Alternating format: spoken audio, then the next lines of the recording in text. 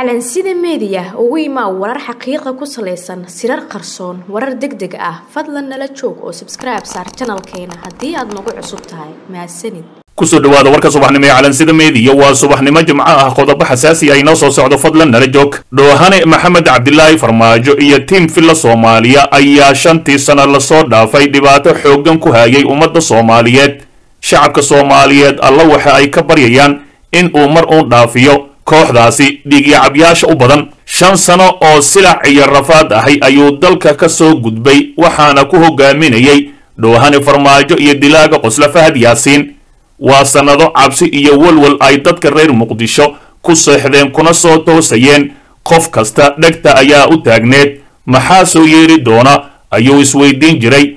Cabsida waa korortay. Qof kasta ayaana cabsanayay. Qaarkood dadkooda ayay u baqayeen maamulka dalka ayaana cabsida ugu weyn laga qabaa waana filla soomaaliya. Dadka qaar waxay qaateen go'aano adag si ay runta u sheegaan. Qaarkood dhib ayay kala kulmeen qaarna alla ayaa badbaadiyey. Kuwo kalena waa ay ku baxeen ama waa ay ku dhinteen. Sanadkii lixaad ayaa u bilowday kooxda dhiigyacabyaasha ahi ee filla soomaaliya ku jira. Keliya cabsidii ayaa sii xoogaysatay dad badan ayaa qadimay naftooda khatarta ururka al-shabaab iyo kooxaha kale ee dadka dhibaateeya ayaa sidoo kale kordhay. Hay'adda nabadsugidda nisa iyo ururka al-shabaab ayaa ummaddii soomaaliyeed cabsi xooggan ku abuuray filla soomaaliya dhoohane maxamed cabdilaahi farmaajo qof kasta oo ka aragti duwan muqdisho ha joogo deegaanada kale ha joogo dhibaato xooggan ayay ku hayaan dad badan ayay dhalanteed la tahay waxa jira waa saddex qaybood oo kale ah kuwa raacsan ama taageersan kooxda dilaayaasha ah ee nabad iyo nolol kuwo qabiil ku taageersan oo waxba ogeyn haddii ay og yihiinna aan wax xiidhin allana ka cabsanaynin iyo kuwo dalka ka maqan oo waxa socda xog rasmi ah ka haynin laakiin ku indha daraandarsan social mediyaha waxa yaallo iyo hadallo qurxoon.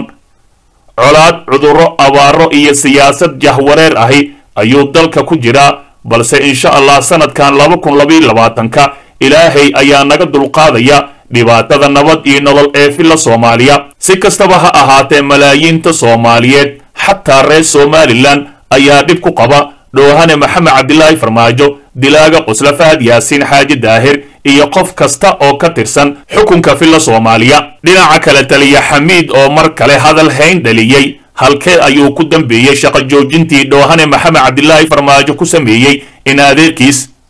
Taliyaha ciidamada badda jenaraal cabdixamiid maxamed dirir oo uu dhowaan shaqo joojin ku sameeyey dhoohane maxamed cabdilaahi farmaajo ayaa mar kale ka soo muuqday warbaahinta cabdixamiida ayaa ka hadlay munaasabad ka dhacday magaalada muqdisho taas oo loogu dabaaldegayay sanad guuradii konton iyo toddobaad ee aas-aaska ciidamada badda soomaaliyeed taliyaha ayaa sheegay in muddadii uu joogay xafiiska uu tayeeyey ciidamada badda islamarkaasina ay haatan diyaar u yihiin inay ilaaliyaan biyaha soomaaliya. Sidoo kale wuxuu intaasi ku sii daray mar dambe ma soconayso. Haddii allaha awoodda leh idmo in badda soomaaliya ay noqoto meel kotorobaan ahi oo ay cid walba iska soo gasho. Dhinaca kale hadalhayn xooggan iyo falcelin ayaa ka dhalatay hadalka uu taliyuhu siiyey warbaahinta waxaana dadka isticmaala baraha bulshada ay su'aalo ka keeneen halkii ay ku dambaysay shaqo joojintii isaga lagu sameeyey.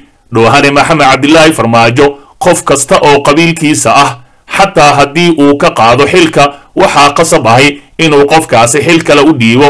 Shan sano oo rafaad ahi waa la soo gudbay. Sanadkii lixaad walwal cabsi iyo qabiilada soomaaliyeed oo la kala qubqubayo ayuu farmaajo ku sii joogaa sanadka laba kun labaiyo labaatanka insha allah waxaa la helayaa madaxweyne qaran qabiilada u siman yihiin aanan aqoonin nin jeclaysi iyo qabiil jeclaysi. Fadlan dib u daaw wararkeenii hore ee calansida meediya xog xasaasiya ururka al-shabaab oo sheegasho yaab leh ka soo saartay qaraxii maanta ka dhacay magaalada muqdisho.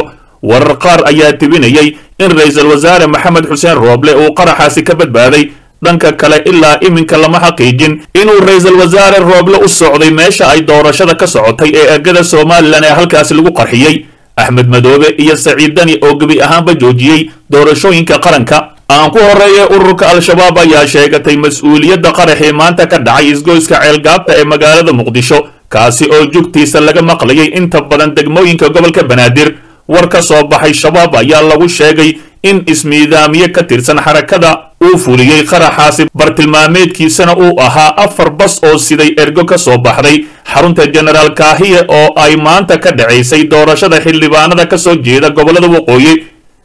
Dhagarqabayaasha al-shabaab ayaa sheegtay in qaraxaasi ku dileen lix xubnood oo ka mid ahi. Ergadii soo xulaysay xildhibaanada iyo shan ka mid ahay ciidamadii booliiska ahaa oo saarnaa kolonyo galbinaysay. Sidoo kale waxaa warka ka soo baxay al-shabaab lagu sheegay in qaraxaasi oo dhaawac ka soo gaaray saddex iyo toban ergo ah iyo saddex ka tirsan askartii ilaalada u ahayd ee booliiska soomaaliya.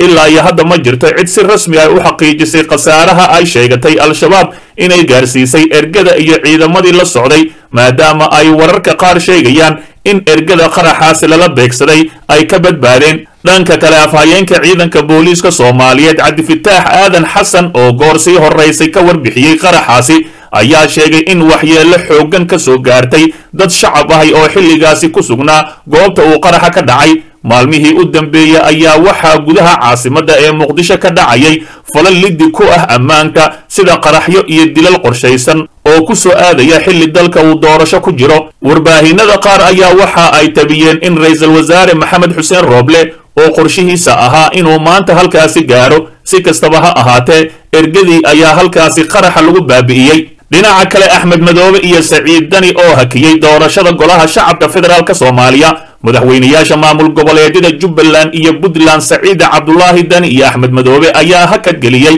doorashada kuraasta golaha shacabka ee ka socota deegaanadaasi. Maamulka jubbaland ayay ugu dambeysay inuu qabto doorashada kuraasta golaha shacabka ee maamulkaasi labaatan iyo toddobadii bishii hore ee janaayo sidoo kale saciid dani ayaa isna hakad geliyey doorashada golaha shacabka waxaana ugu dambeysay labadii febraayo.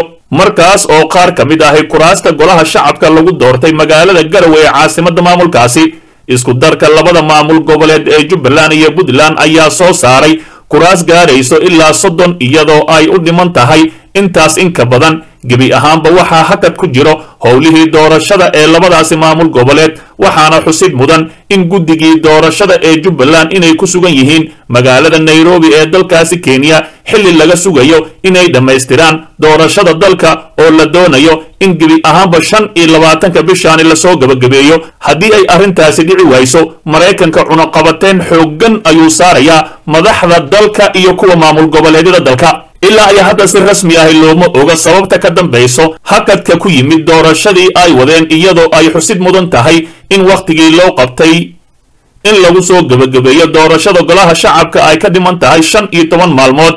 Saciidani oo la filayo inuu isku soo taago xilka madaxtinimada ee soomaaliya ayay xogaha sheegayaan inuu ku mashquulsan yahay oo lala lacag raadin ah. Sidaas ay isaga iyo axmed madoobe ku heshiiyeen in hakad la geliyo doorashada si ay wakhti ku filan u helaan maamul goboleedyada galmudug hirshabeelle iyo koonfur galbeed ayaa si dardar leh ku wada doorashada golaha shacabka iyagoo fulinayo heshiiskii uu golaha wadatashiga qaranka ku gaaray magaalada muqdisho.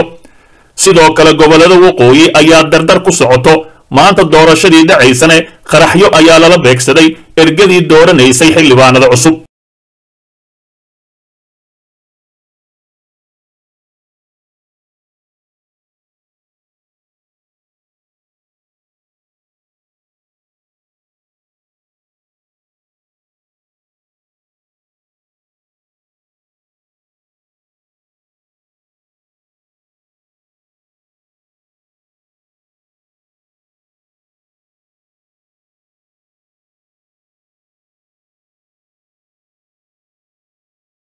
dhegaystow ogow haddaadan xalka qayb ka noqon waxaad qayb ka tahay dhibaatada dalka